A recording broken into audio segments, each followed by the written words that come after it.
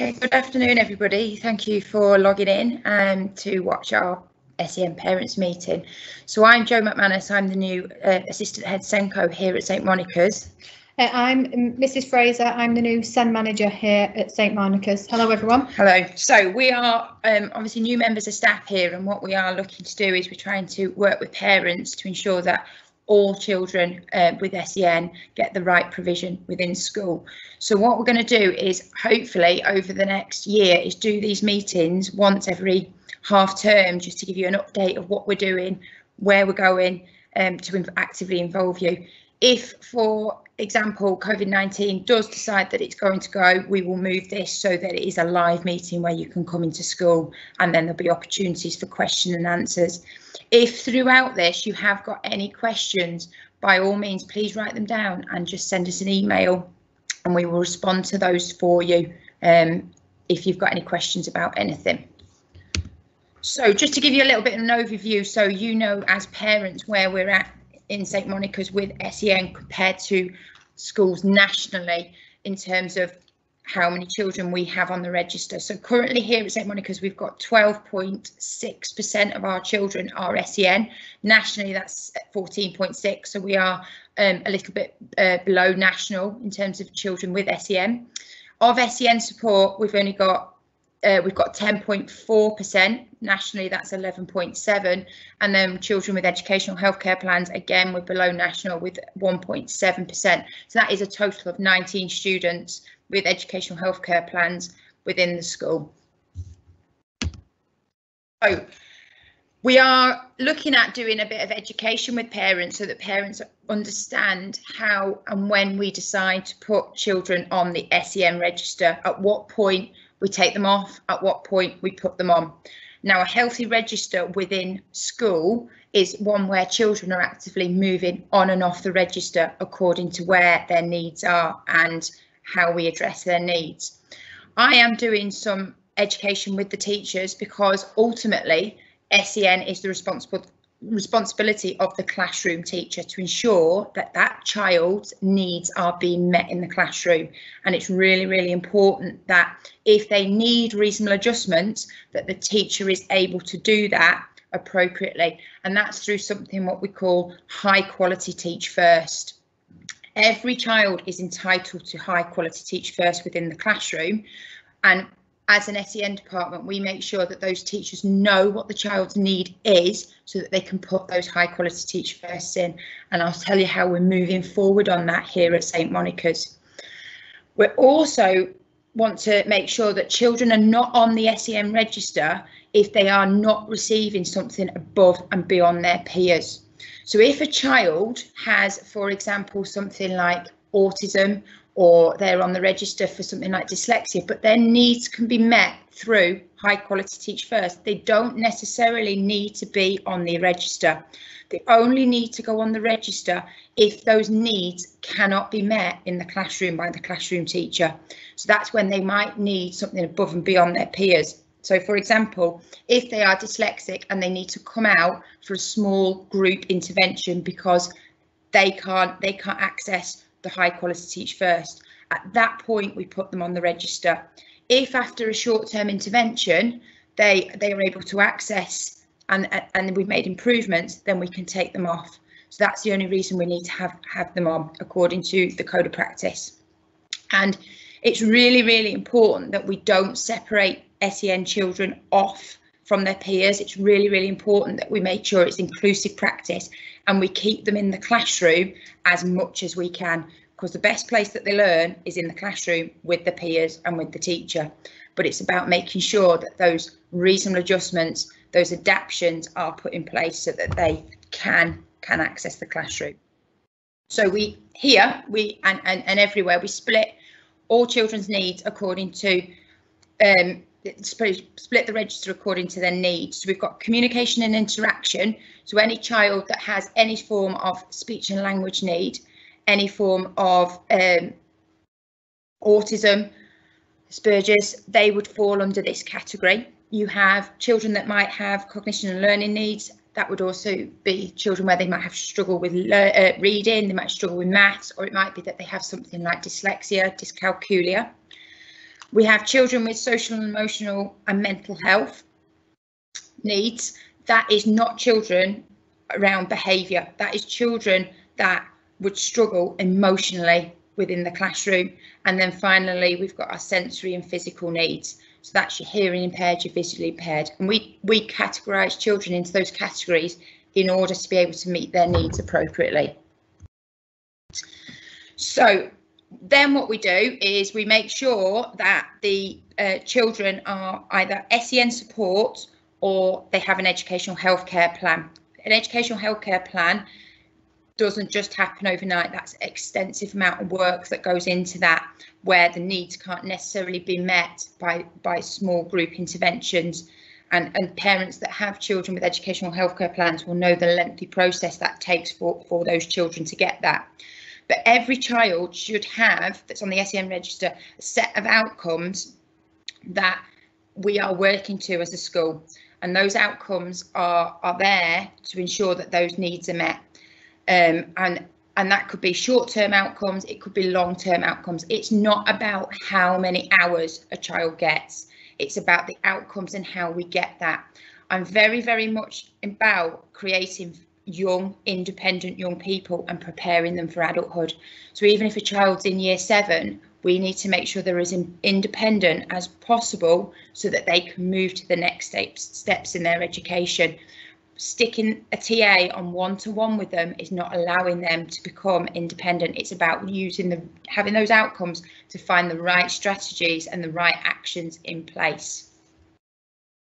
So what I have done is I have built um, a graduated approach for parents. This will go on the website, so you'll be able to see this in much clearer how the process in which we would do to ensure that your child's needs are being met and it, it, it's a flow chart and it's a constant flow chart. Where it's obviously green, that is where progress is made and it tells you the next steps that we would do if it's green and then if it's red and it's a no the next steps that we would do. That would be very very clear. And it's the constant graduated approach. We assess the child we plan for the child we put actions in place according to their need. We do it we deliver it and then we review it. Has there been impact? If it's yes there's been impact it's great great impact, we go down the green route. If no, there is no impact, we go down the red route. This will be available for you on the website so that you can have a look at that so you can see how we as a school will be working in the constant cycle of assess, plan, do, review. We'll also put this, we'll put this PowerPoint on, um, be available for you online as well so you can refer back to it but here you can just see the pyramid of how how the SEN works. You've got your core group of children. That's every single child in the school. Every single child will need some form of differentiation at some point. Now, if the differentiation that is put into place in the classroom after a few few times of a child a teacher trying it and it doesn't work, that's when we might start looking at some short-term outcomes and putting them into the monitoring group. That doesn't straight away put them on the SEN register. Put them in there, short-term outcomes, a bit of assess, plan, do, review over a short period of time with the high quality teach first, with the advice from myself and Mrs Fraser, and then if progress is made, brilliant, that stays in place. If it doesn't get made, at that point, we then start looking at more targeted interventions, more tailored towards the child's need. And then the child will get placed onto the register as SEN support. And then finally, when they're on SEN support, hopefully the extra bits of intervention work and then we stay at that stage at SEN support and we're constantly doing the assess plan do review. If, for example, progress is not made and the and it is impacting on the child's learning significantly at that point we would start looking at the route of external agencies being involved. We would look at educational psychologists being involved possibly speech and language and then we would make a referral to the to the local authority for an educational healthcare plan in order to do that, that is your very, very, very high needs children, and that is that process can take up to 12 months before an application can be made. At the point at which the 12 months is over, when the application is made, the local authority then have 20 weeks to issue an educational healthcare plan if they deem that it meets their criteria. So it's quite a lengthy process. So hence why there is a small number of students with educational healthcare plans because it is your greatest need that that have them. So how are we moving forward with obviously making sure that teachers are meeting the needs of your children? So we, what we've been doing since we arrived at the school, we've been meeting with or speaking to on the phone as many parents as possible to put together what we call a student passport. So a number of you will have had that meeting with ourselves. If you haven't, we will get round to you. We've, we're working our way through um, the SEN register so that we can meet with them. This is a constant working document. So as children's needs change, we adapt and amend it. Now, TAs will be working with you eventually on this and they will be delivering this with you. Uh, they'll be working through this with you and making sure that this is out to teachers. But primarily, it's been done by ourselves to ensure that we get that information to teachers. We get all everything we need to know and then we put together in um, it would help me if you could with the highest and the best types of high quality teach first. The idea behind this is that the teacher can then easily adapt their lessons to meet the needs of your child within the classroom. It's those reasonable adjustments. So that could be anything like give me mind maps, give me time to think, the choice of language they use, visual maths. As, as lots of us know, if it's visual, children understand and learn a lot quicker. We also put in there the information that you think is relevant. So if a child has ADHD, if a child has autism, if a child has dyslexia, it's really important that the teacher knows that. If your child does things that might be impulsive, that might get them in trouble, might might have um, different facial expressions, we obviously put that on because we don't want a child having a consequence for something that is their need. It, they should they shouldn't have that. It should be that that the teacher is aware of what those needs are so that they can address that. We also put on there things that they might find difficult and then we put in there some of the types of interventions that they might receive on a long term or a short term basis. Once we've also gathered reading and maths ages, we use that information too, so that the teachers are not put, pitching um, work too high if they've got a low reading age, or they're not pitching it too low if they've got a higher reading age. And then finally, we put on there the access arrangements that they would have in an exam in a GCSE, so it is embedded as a normal working way, so that by the time they get to year 11, they can they can have those access arrangements in place within the GCSEs. So that we are working on these, and these are being shared. These are all being written from scratch since we've we've started here, because it's really really important to give the teachers the tools about your your child. We've also introduced something called a SEND organizer. Every single teacher has to have this on their desk. And what it is, it's an easy way for a um, teacher to try and identify some of the challenging challenges that they may face in the classroom. So at the top, we will share this again on the website for you. At the top, there are pieces of sort of behaviours that a child might display in the classroom. So for example, it might say, looking out the window, tap, tapping their pen, swinging on the chair, um, refusing to work. Some of the things that they might might be the barriers to their learning. Underneath, there are strategies, quick strategies that that teacher can use according to that need.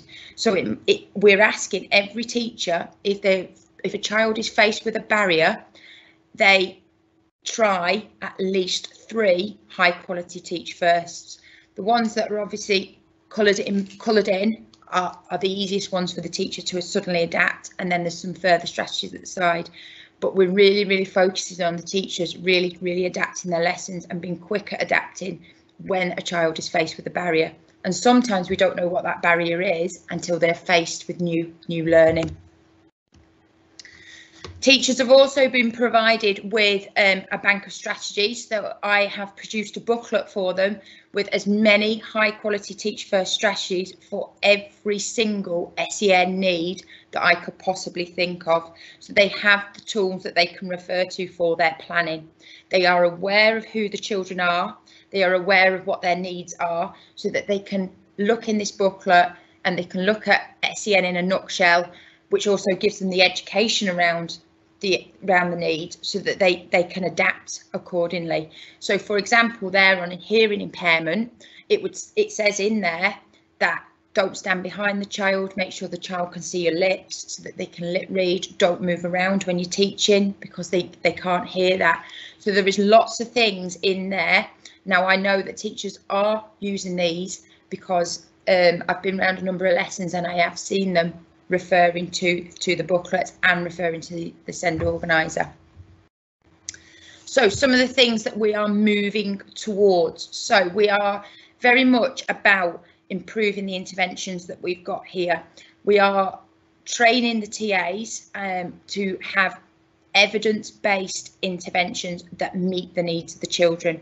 It's really, really important that if we are delivering an intervention, that it then has impact in the classroom. What we want is we want them to be able to take that and, and apply it right the way across the curriculum so that they can make the best progress that they are capable of. So we're currently in the process of training them in, in the interventions. So interventions are slowly starting as and when the TAs have become appropriately trained to deliver those interventions. We've also brought in new assessment tools to identify the SEN needs appropriately. That includes um, Boxall training so that we can identify the social and emotional needs. We've brought in brand new reading tests that don't just look at sight reading and whether a child can decode and, and read phonetically. We are looking at the comprehension behind it. We've brought in maths tests. We're also bringing in something called strengths and difficulties. We have um, speech, language and communication assessments. These are things that work alongside what the educational psychologists are using so that we can make early identification and, and effectively um, deliver the right the right type of interventions or put the right plans in place for your child. Um, we're improving the training for the, the teaching staff um, to understand every single SEN need is very, very difficult for a teacher. So we are improving that. There'll be more and more and more um, uh, training sessions going on throughout the year. I am delivering a small training session every three weeks to teachers so that we can really, really raise the profile of SEN. Just because a child has special educational need does not mean they cannot make progress. They can make as much progress as anybody else. It's about putting that extra work in and for teachers to understand what the need is. We are also going to be improving the communication between um, both teachers and parents. We are communicating. We've got um, a new referral system for the teachers to refer that's very easy for them to use. It's a, using Microsoft Forms, click buttons. Uh, they can show what they've already done, what's not working, what is working. And then we want to improve the communication with parents. So if you contact us, we, we will endeavour to, to respond to you within 24 hours of you contacting us. Hopefully it'll be within the same the same day. We're very much about the children being at the centre of this, the longer we leave things, the more the child is suffering. And we really, really want to make sure that the child gets the best from us. And then we are also going to be looking in the long term at looking at an alternative curriculum to try and close some of the gaps that some children have within the learning. More around children with learning needs and adapting the curriculum to meet the needs of the children rather than the children trying to meet the needs of the curriculum. So these are some of the things that we're looking to do over the next few weeks. If any of you would like to contact us, would like us to book meeting in earlier than we have got, or we haven't contacted you yet just because we haven't got through the list, please, please, please send us an email or contact us at school and we will um, organise that meeting and get that passport done.